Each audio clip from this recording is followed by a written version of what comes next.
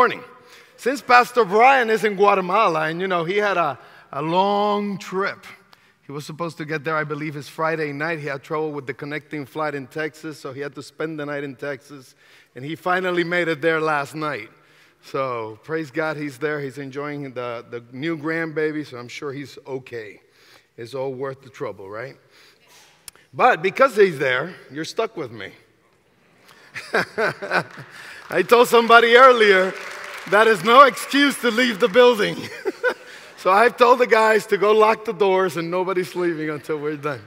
Now, before we get started, I want to introduce to you a special person in my life. It's the first time since I live in Florida that he's here with us, and that's my brother Tony. Tony, will you stand up?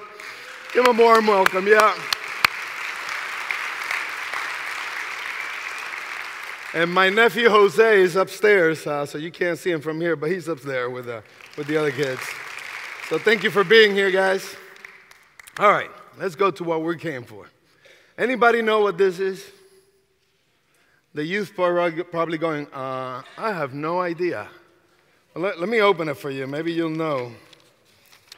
See, hey, what this is?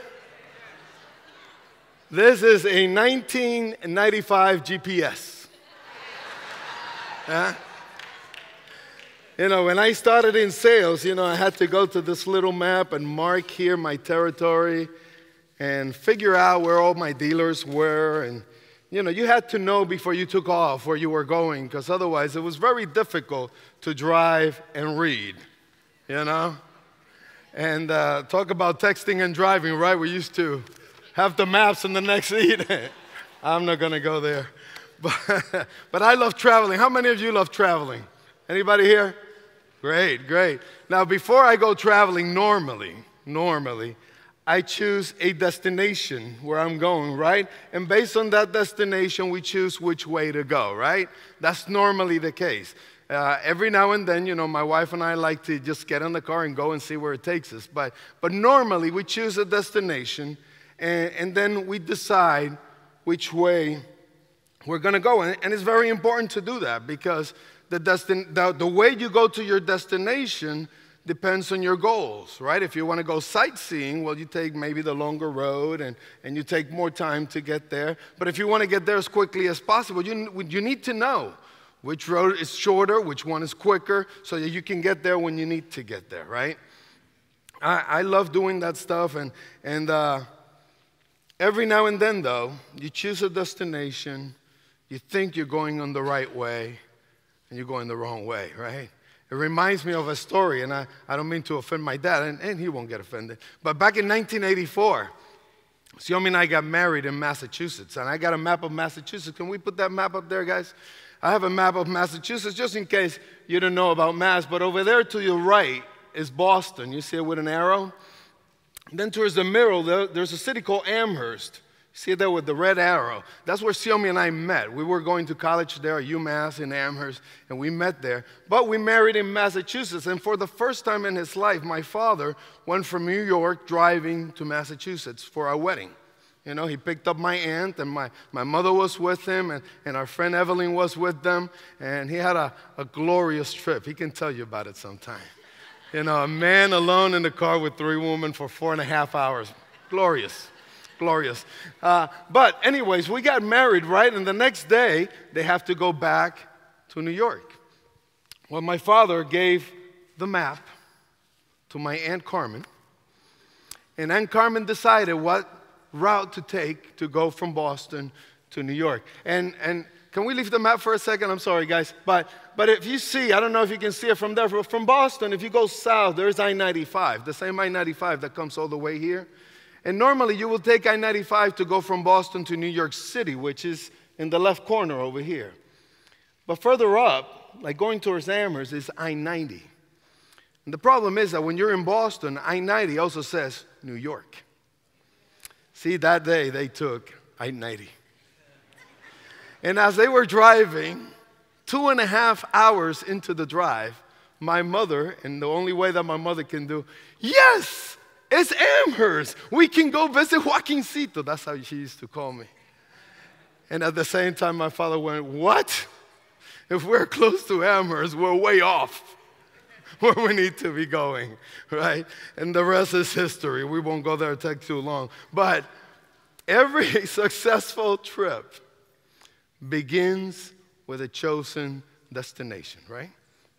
We're going to talk about traveling today.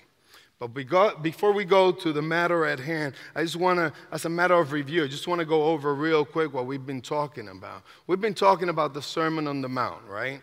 And Jesus has been talking to his disciples and, and to some followers, and he's basically taken them to a crash course on biblical interpretation. You know, he took the interpretation of the, of the Pharisees that they had been taught and, and kind of took it to a different level. He kind of changed everything that they understood to be the law of God and how to interpret the law of God. And, and, and Jesus just flipped it around. He said, Listen, you have heard that you can't kill somebody, but I'm going to tell you that if you even hate somebody, that's like killing. And you have heard that you should not commit adultery, but if you even look at a woman with lust in your eyes, you have committed adultery. So he kind of flipped what they have been instructed and with it, he flipped the disciples' world. And I can just imagine as we get to this chapter 7 that the disciples are looking at all these new laws that Jesus is giving them and saying, How in the world can we do this? How can we be good enough to earn the righteousness that God desires from us? But Jesus looks at them and says, Listen, Christianity is not about doing the law. Christianity requires a heart. See, Christianity is about the heart. It is not about following a checklist of things to do and not to do. As a matter of fact, the Pharisees were experts at following the checklist. Right? Jesus tells the disciples in Matthew 5:20, "For I tell you, unless your righteousness exceeds that of the scribes and the Pharisees, you will never enter the kingdom of heaven. So, can you imagine the look in their faces? Okay, he just told us that our righteousness have to exceed that of the Pharisees. He's taking the law and putting it at a different level. How in the world are we going to do that? This is difficult. See, obedience of the law with the wrong motives is useless in our righteousness for God. True obedience of the law, true obedience of the law is reflected in my behavior towards others. True obedience of the law is reflected in my behavior towards others. He says this in verse 12 of Matthew 7. He says, So whatever you wish that others will do to you, do also to them. For this is the law and the prophets. You see, in kind of a summary, he says, So, therefore, because of everything I have told you this far, so, whatever you wish that others will do to you, do also to them. Man, as we see the news this week and every week, it seems like now, we have so many issues in this world nowadays, huh? And we're trying to put laws against everything that is going on laws against discrimination, against racism, against this, that, the other. And let me tell you, the solution is do unto others as you would like them to do unto you. It's that simple. Who cares what color we are? Who cares what language I speak? If you treat me like you would like me to treat you, and if I treat you like I would like you to treat me, it's going to be okay. And Jesus says this Christianity thing is not about doing, it's about the heart. Why are you doing what you're doing? That's what this Christianity thing is about. Our actions don't make us Christians. Our actions should be a reflection of our Christianity. It's the overflow of the heart. Jesus said in John 13 35, By this all people will know that you are my disciples. How? If you have love for one another. It's a very clear principle in the Bible. It's so clear that in 1 John 4 20, listen what it says. If anyone says, I love God, but hates his brother, he's a liar. Wow, that's pretty strong. He says, If anyone says, I love God and hate his brother, he's a liar. For he does not, for he who does not love his brother whom he has seen cannot love God, because he has not sinned. You see, if I claim to love God, if I claim that I'm a Christian, but I hate somebody, I'm lying. I'm not really a Christian. It's very clear in there. So here we are at, at the crux of the matter, right? We, we, we, I can imagine that, that the disciples, like probably us, are looking at this thing and going, wow, Christianity is really difficult. Jesus, this is difficult. This is hard, right? Well, let me tell you, no, it's not difficult. It's impossible. Christianity without Christ is impossible. And many of us are trying to live a Christian life without God in it. And it's impossible. It's not just difficult, it's impossible. That's why I think Jesus looks at his disciples and he says, Listen, guys, you need to make a decision. You know all the rules, you know everything I taught you. You're good learners, you're smart. Now you need to make a decision. You need to make a decision. And that's where we find them in verse 13. He says, Enter by the narrow gate. For the gate is wide and the way is easy that leads to destruction. And those who enter by it are many. For the gate is narrow and the way is hard that leads to life. And those who find it are few. Let me read that again. Enter by the narrow gate. For the gate is wide and the way is easy that leads to destruction, and those who enter by it are many. For the gate is narrow and the way is hard that leads to life, and those who find it are few. I love Jesus when he talks because he don't play around. You know, Jesus says it right like it is, right? Don't you love that about him? I, I hate when people come to me and try to tell me something, you know, and they start flowering it up. And you're like, can you just get to the point? I mean, I know every man here understands me right now. Women are going, well, why? Why go so straight to the point? Anyways, baby, I love you. We're okay, right? Jesus starts with a command enter by the narrow gate. This is not a suggestion. He's looking at his disciples and saying, listen, enter by the narrow gate. And this is interesting for me because it reminds me of when my kids, you know, I wanted them to eat the vegetables, and you say, Eat your vegetables. What's the next question? Happened to you too, huh? Why? And then sometimes, right? Most of the time, hopefully, we proceed to explain why they have to eat their vegetables and why it's better than ice cream and all that stuff. And Jesus does kind of the same thing here. He says, Enter by the narrow gate. And he knows the question uh, why? And then he proceeds to give an explanation of why we should enter the gate. You see, he's giving them a command, and this command requires a decision. See? And this is a personal command this morning. So he's giving you and me a personal command that requires a personal decision this morning. Enter by the narrow gate. So, now in order to make our decision, let's look at the destinations. Just like when we travel, there are two destinations. He's giving us two destinations in, in this passage. And I think it's necessary for us to understand the destinations before we can make the decision right?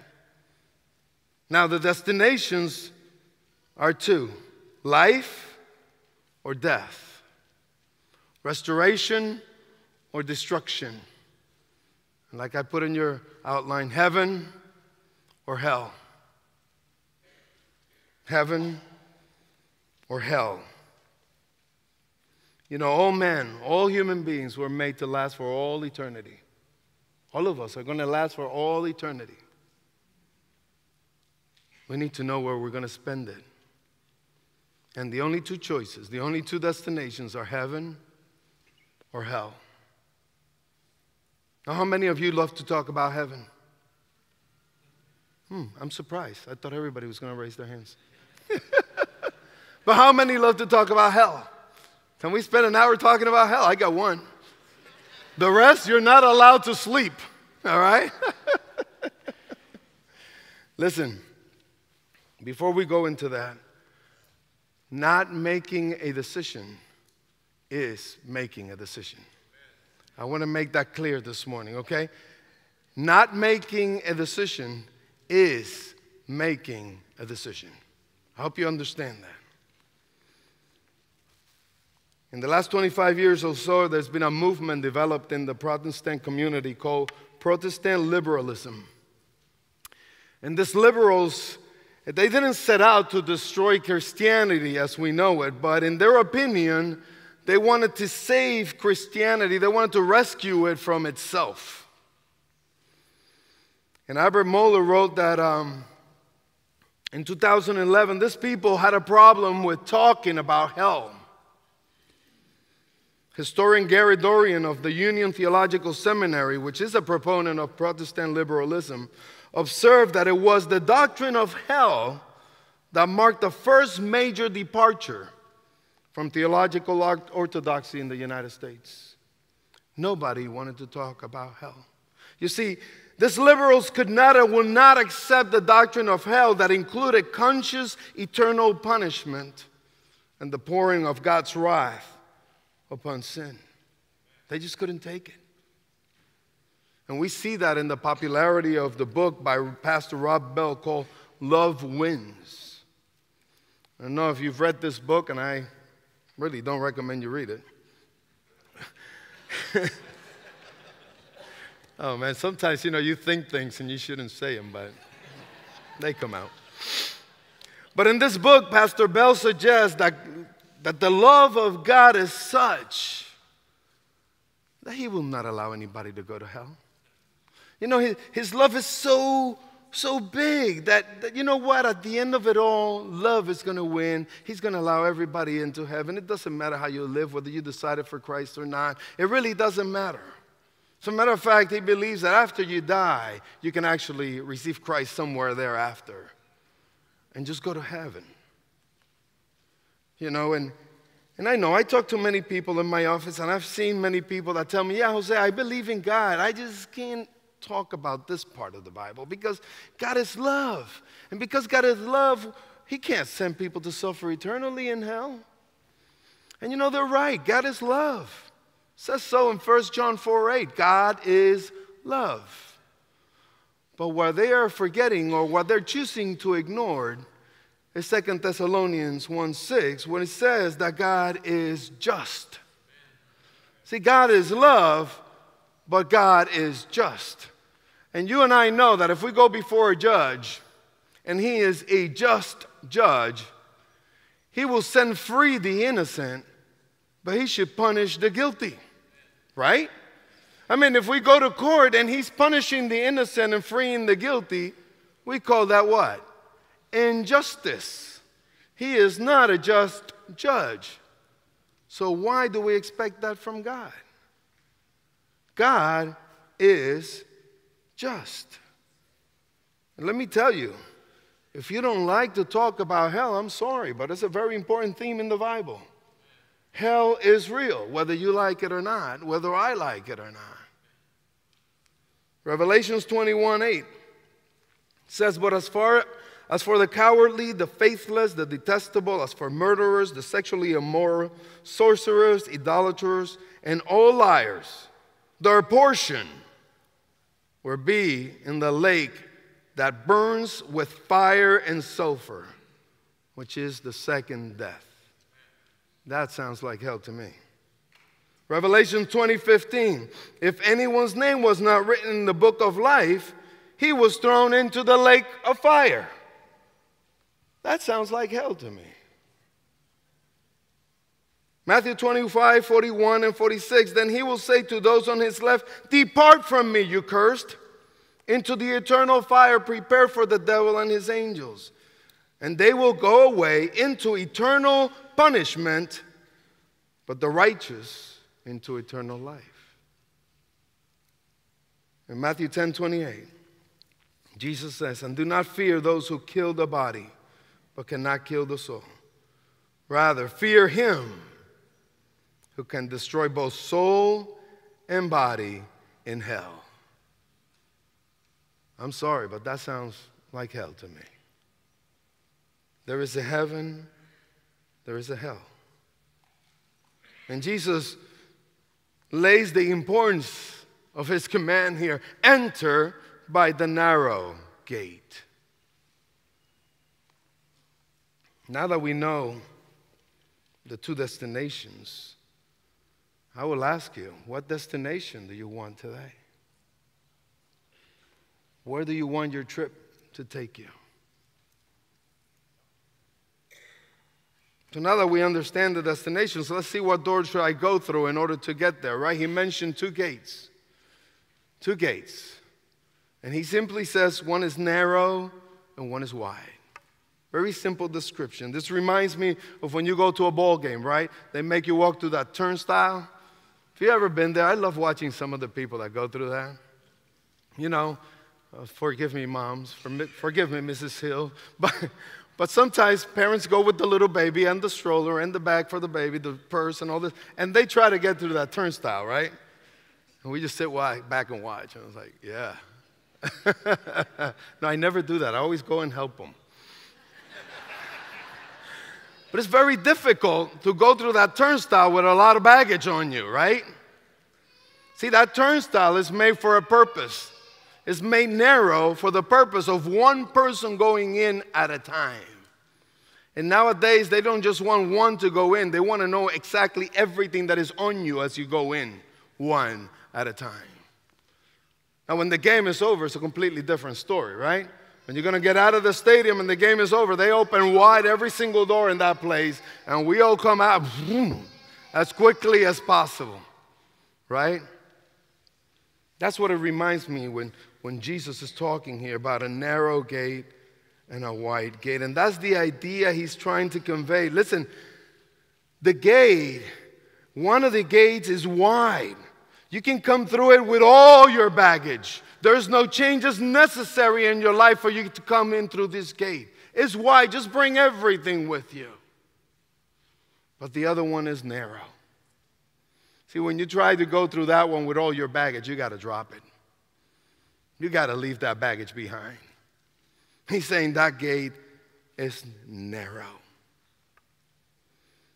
The white gate says, eh, many will find it, many will enter. But the narrow gate, he said, few will find it. Few will find it. You see, this, this gate requires self sacrifice. This gate requires self denial. And this gate leads to a hard way. You see, there are two ways. There are two gates, there are two ways the hard way and the easy way. The hard way and the easy way. You know, the easy one is, is the one that most people live in. It's actually the one that we're all born into. We're all born into the easy way. And the easy way comes natural. You know, we like this gate because I don't have to change everything that I'm doing. I can live as everybody else is living. I can feel accepted by everyone else. This is the gate of self indulgence. This is the gate of self fulfillment. This is the way of tolerance. This is the way of no moral absolutes. This is the way of doing what seems right to men, but at the end, it leads to death. That is the wide gate. And don't think that everything in this gate is going to be ugly and disgusting and, and wretched. You know, that's the problem most of us have. We, we think what is bad looks bad. You know? Murder looks bad. Adultery looks bad, even in the world's eyes. Listen, what's going to get some of us is the righteous that are going to be walking that way. The Pharisees were righteous in their own eyes. Even Jesus said, Man, you look like whitewashed tombs. You look pretty nice on the outside, but you're just rotten bones on the inside. And we think that, hey, Jose looks pretty good, so let me just follow Jose. Have you ever done that on a trip? One, my wife and I were in Puerto Rico some couple of years ago, and I was following my GPS. So oh, I left my phone over there. And you know, we're going through the mountain following the GPS, and all of a sudden, oops, there goes the signal. Nine o'clock at night. We look at each other, and I say, honey, don't worry, I'm going to follow that car because he knows where he's going. right? You ever done that? Normally gets me out of there. I don't know why, but every time I pick somebody, they go and get me out. But we live our Christian life just that way. You know, he seems to be having fun. You know, Steve Taylor seems to have it all together. I'm just going to follow Steve. And he doesn't look bad. He doesn't kill anybody. He doesn't curse. You know, not everything looks bad in that wide gate. and, and you know, the problem with choosing is that things actually seem right in this way. You know, I can do what I like. You know, my body likes to do things in the white lane. I like to live in the white lane. You know, our sinful nature loves the wide road, he just loves it. That's why we have this battle, because our nature loves it.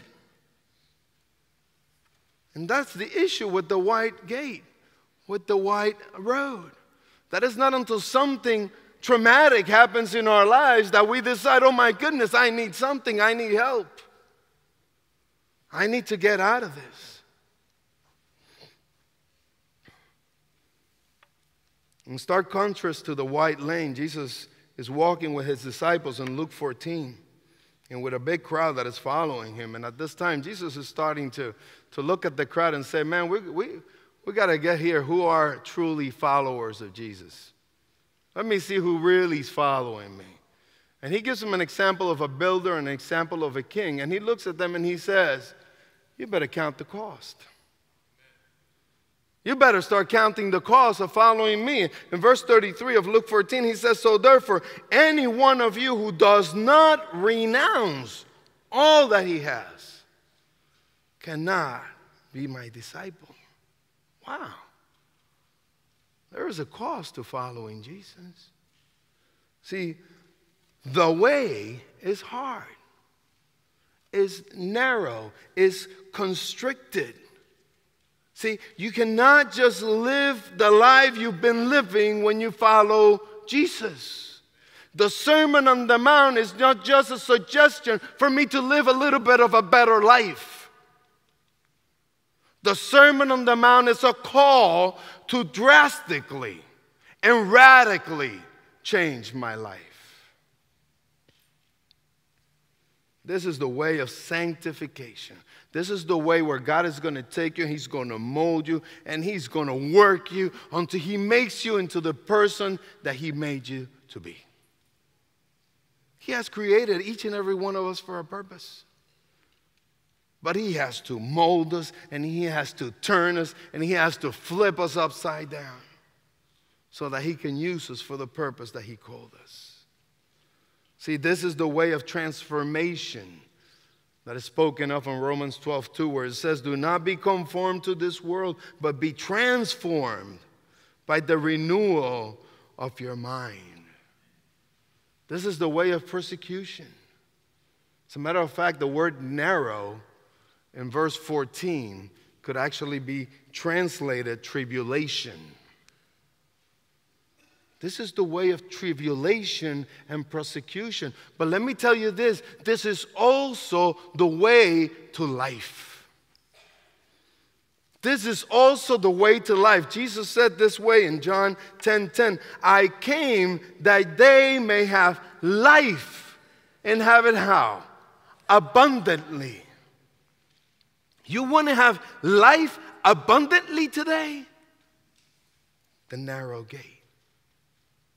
That's the only way to life. In verse 14, he says, For the gate is narrow and the way is hard that leads to life.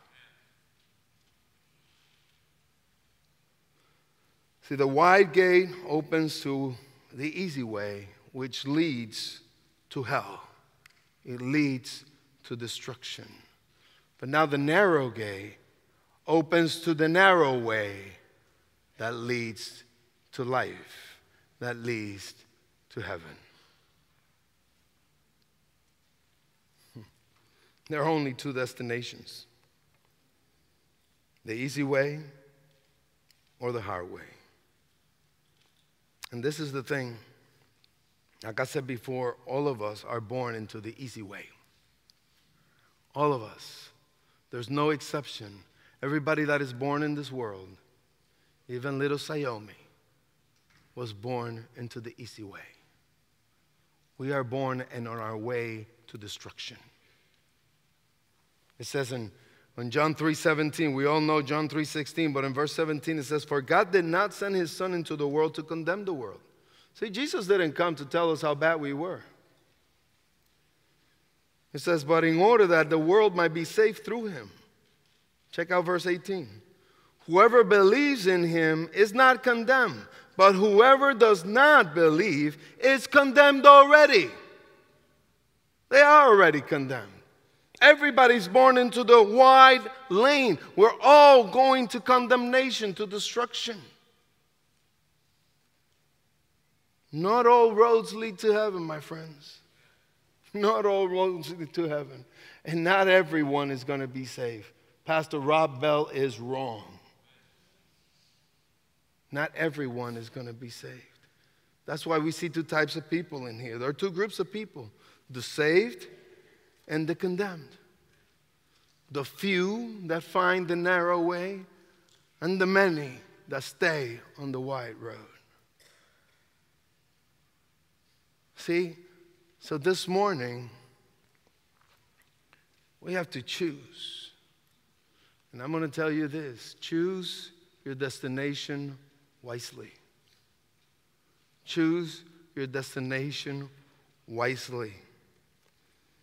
The reason Jesus started with a command is because he's making the point that the only way to heaven is the narrow gate. The reason he started with that command, enter the narrow gate, he's making the point there is only one that you can choose. See, supposedly we have two options, but we're already running on one of them. That's why I said to not do anything is doing something. To not decide this morning is to stay in the white lane. It's funny because uh, throughout the Bible, God had given his people the same choices. In Jeremiah 21, in Deuteronomy 30th, he continuously offers them life and death. And in Deuteronomy, verse 19 and verse, in chapter 30, it says, I have set before you life and death, blessing and curse. And then he says, therefore, choose life. In Joshua 24, we're all familiar with that. And, and, in Joshua 24, Joshua brings the, the, the city of Israel, brings all the Israelites out and says, Listen, make up your minds.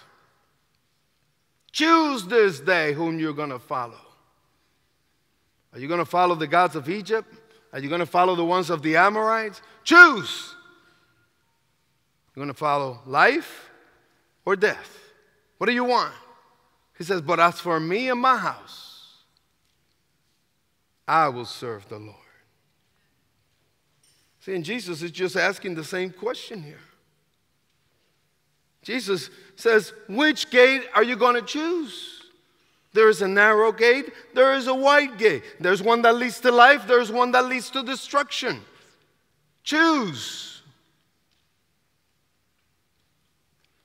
Okay, you might say this morning, okay, Jose, I understand. The narrow gate leads to a narrow path that leads to life. The wide gate leads to a wide path that leads to destruction. Okay, I got it. How do I find the gate? If I want to find the narrow gate that he said few will find it, how do I find it? Where is it at? How do I open that door? The only choice, my friend, is Jesus. That's the answer to your question. The only choice is Jesus. The way of life is Jesus. The narrow gate itself is Jesus. Jesus said in John 10 9, I am the door. If anyone enters by me, he will be saved. In John 14 6, he says, I am the way, I am the truth, and I am the life. And then he says, And no one comes to the Father except through me. In 1 Timothy 2 5, he says, For there is only one God, and there is one mediator. How many? One between God and man, and his name is Jesus. My friend, where is your roadmap leading you to today? Is it leading you to life? Or is it leading you to destruction? Where are you going? Do you think you're a Christian this morning, but you know you're living in the white lane?